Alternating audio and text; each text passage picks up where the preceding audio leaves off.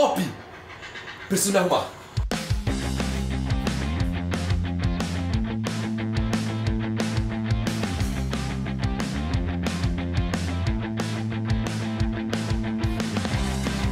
Tô pronto.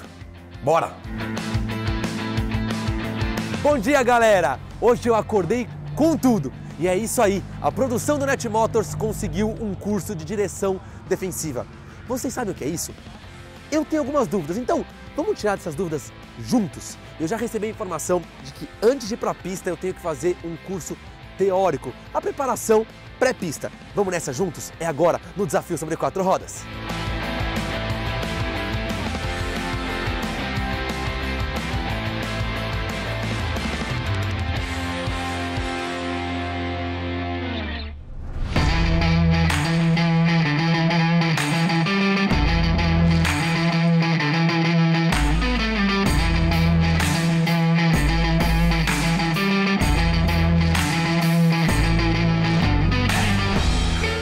Direção defensiva é um curso que traz técnicas e uma noção para que você possa atuar numa situação perigosa no trânsito do seu dia a dia. O objetivo disso é que você consiga fazer a sua função, tanto de ir para casa, do trabalho para casa ou de casa para o trabalho, ou se você tem uma frota no qual você quer treinar o seu colaborador para que ele tenha uma condição mais segura. Então esse curso equivale tanto para pessoas que querem fazer para si próprias, para sua família, como também para o agente de frota, que quer que seu colaborador tenha um treinamento e uma técnica e aperfeiçoamento melhor de dirigir o automóvel.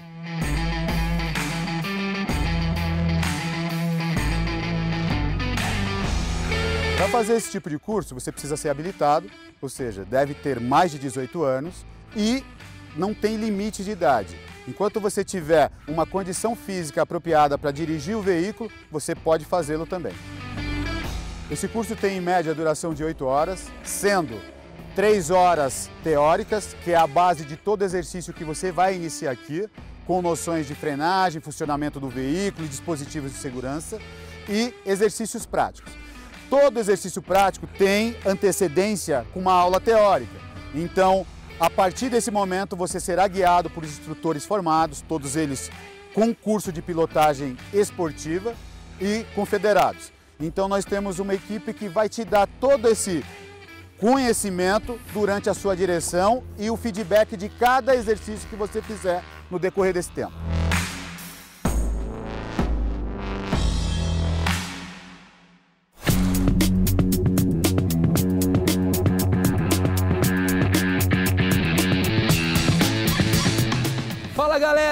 Eu estou na pista e já está tudo pronto para darmos início na etapa prática do curso de direção defensiva. Vai ser demais, eu estou empolgadíssimo e conto com você. Vamos nessa, diretamente do Autódromo de Interlagos.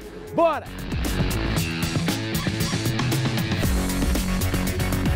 O primeiro exercício que nós fazemos é um circuito com mudança de trajetória e slalom, onde nós colhemos do aluno subsídios para ver o que ele precisa ser melhorado e trabalhado naquele dia. Vamos lá, Rafa. Pode sair, tá? Tá bom. Aí põe segunda. Põe segunda. Isso. Terceira. Terceira. Vai chegar o cone vermelho. A gente já começa o processo de frenagem. Exatamente. Certo? Freia. No amarelo reduz. Reduz. Solta a embreagem com o pé no freio. Solta não a embreagem- o pé do solta freio. com o pé no freio. Ah, tá. Tá? Entendi. E aqui, volta o volante. Não deixa ele voltar sozinho, tá? Ok, vamos lá. Retorna o volante. O primeiro exercício foi o circuito com mudança de trajetória e assim já estava ansioso e aí chega esse primeiro exercício que tem frenagem, aceleração, curva, distorção de volante, então já me deixou meio complicado. Aqui é uma terceira. Quarta. Comecei o processo de frenagem. Freou, terceira, Reduzi.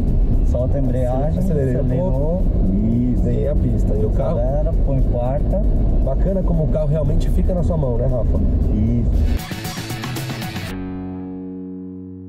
Bom, Rafa, agora a gente vai começar a segunda parte do nosso exercício prático, que é o slalom vulgarmente conhecido como zigue-zague, certo? Explica pra gente o que é esse exercício. Esse exercício nós vamos trabalhar bastante com o equilíbrio do carro, né? É como se fosse né, uma sequência de curva, uma serra. Claro que para cada espaço eu vou utilizar uma marcha correta, tá? Então, é contigo, vamos ver isso na prática. Saio em primeira marcha, né? Como eu falei, antes do primeiro cone, segunda. Mantenha a velocidade constante, o trabalho de volante, ó. Ótimo. Contínuo, tá vendo? Aqui, gente, a gente está em mais ou menos 30 km por hora, constante, como o Rafael acabou de falar pra gente. E é impressionante como o carro fica na mão, né, Rafa? Isso. Ó, O slalom foi um, um exercício diferente, porque olhando de fora, você fala assim, ah, é simples. Mantém a velocidade constante, segura o volante, gira um quarto, um quarto, um quarto, um quarto, tá tudo certo. Mas quando você senta no carro como condutor e começa a prática do exercício, é muito difícil. Por quê? Porque ao mesmo tempo que você tem que manter a constância da velocidade do carro, você também tem que reparar na sonorização do motor, justamente para ele estar sincronizado com a velocidade do carro. E aí você começa a jogar o volante, mas nem sempre a rotação que você faz é a certa, assim como aconteceu comigo. Duas vezes eu derrubei cone no exercício. Vamos lá, Rafa. pode seguir. Sai em Então, primeira Sai em marcha. primeira, coloquei segunda antes do cone e Isso. agora mantenho constante. Devolver o volante antes. Lembra que você tem que virar um pouquinho mais, tá? Vira um pouquinho mais. Isso. Então vira um pouquinho Boa. mais. Numa situação que você precisa desviar de um obstáculo na pista, por exemplo, um animal, um pedestre, um carrinho de bebê, você precisa sim ter a coordenação e toda a direção na sua mão para conseguir sair daquela situação.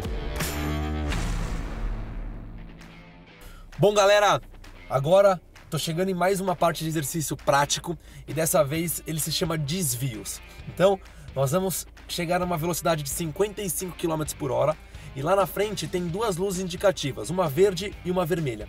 A luz verde indica qual lado eu tenho que seguir para justamente desviar do obstáculo e voltar para minha reta. Eu tenho que passar por dentro de dois cones verdes sem derrubar nenhum cone e muito menos sem bater nos obstáculos. Então, bora nessa. Exercício de desvio. Na segunda etapa, ele já vai ter uma noção de percepção melhor e vai reagir a partir disso. Então ele vai perceber mais rápido e ter uma reação melhor a partir desse momento, fazendo um movimento mais preciso com o veículo, mudando esse veículo de direção e voltando à trajetória. Vamos lá. Aqui eu acabo de passar para a terceira. Mantenho os 55.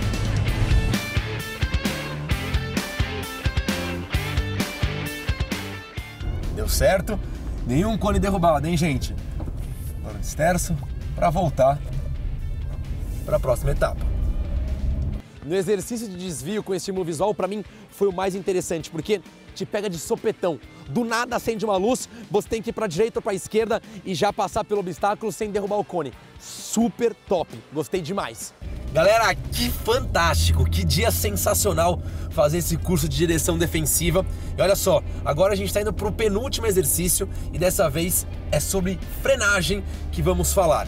E é o seguinte, vamos lá, detalhes para vocês desse exercício tenho que chegar a 70 km por hora, pista molhada e colocar com força bruta, assim, a força necessária, os dois pés. Esquerdo na embreagem, direito no freio e freia brusco assim que uma luz vermelha se acender para mim. Então ela tá verde, vai acender luz vermelha assim que eu passar pelo sensor.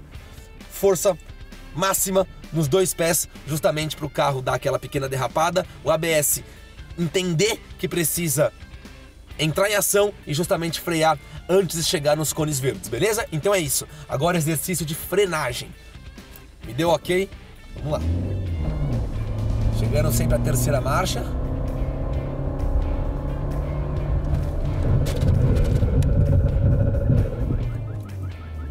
Isso é difícil, hein, pessoal? Na primeira tentativa não deu certo. Acendeu a luz vermelha para mim, eu coloquei a força nos pés, mas mesmo assim o carro derrapou a ponto de passar dos cones verdes. O exercício de frenagem retilínea para mim foi muito educativo, porque estar numa reta a determinada velocidade, numa pista molhada e frear quando acende uma luz é algo totalmente inesperado, certo? E aí que você consegue sair de uma situação de acidente. 70 por hora, mantive. Agora sim, muito diferente. Coloquei mais energia nos pedais, consegui frear antes do momento. Exercício concluído com sucesso. Na etapa seguinte, nós já mostramos para o aluno como a velocidade é importante quando você precisa parar o veículo. Ou seja, quanto mais rápido eu estou, mais difícil é de parar esse veículo na distância que eu quero. Então nós trabalhamos isso para ele entender um gerenciamento o que é um gerenciamento de velocidade, para ter uma noção de parada emergencial mais eficiente.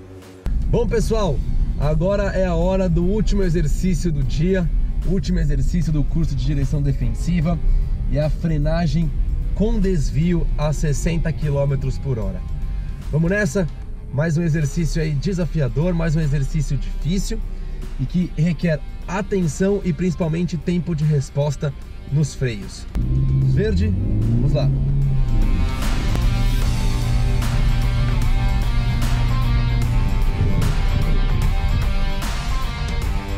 A frenagem com desvio é muito parecida com a frenagem retilínea, só que em determinado momento você tem que dispersar um quarto do volante para conseguir sair de uma situação de perigo, ou seja, cones, obstáculos à sua frente. Então freia na, na reta molhada e joga o carro um pouco para a direita para desviar dos cones chegando a 70 km por hora.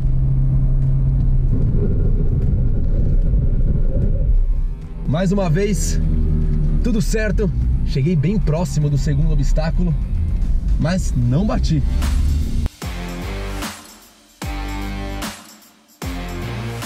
No final do curso, a primeira coisa que a gente sente é a satisfação do aluno. O aluno que veio aqui chegou de uma maneira e saiu muito melhor. Porém, a empolgação e a adrenalina que ele vivenciou, ele vai trazer isso com mais segurança para o seu dia a dia.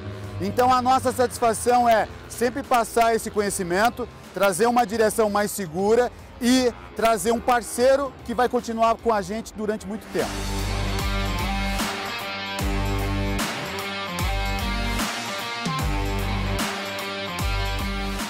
Que dia, meus amigos! É curva, aceleração, frenagem, quanta coisa! Eu com certeza finalizo esse curso mais consciente e preparado para enfrentar o trânsito dos grandes centros. E você, está preparado? Esse foi o Desafio sobre Quatro Rodas.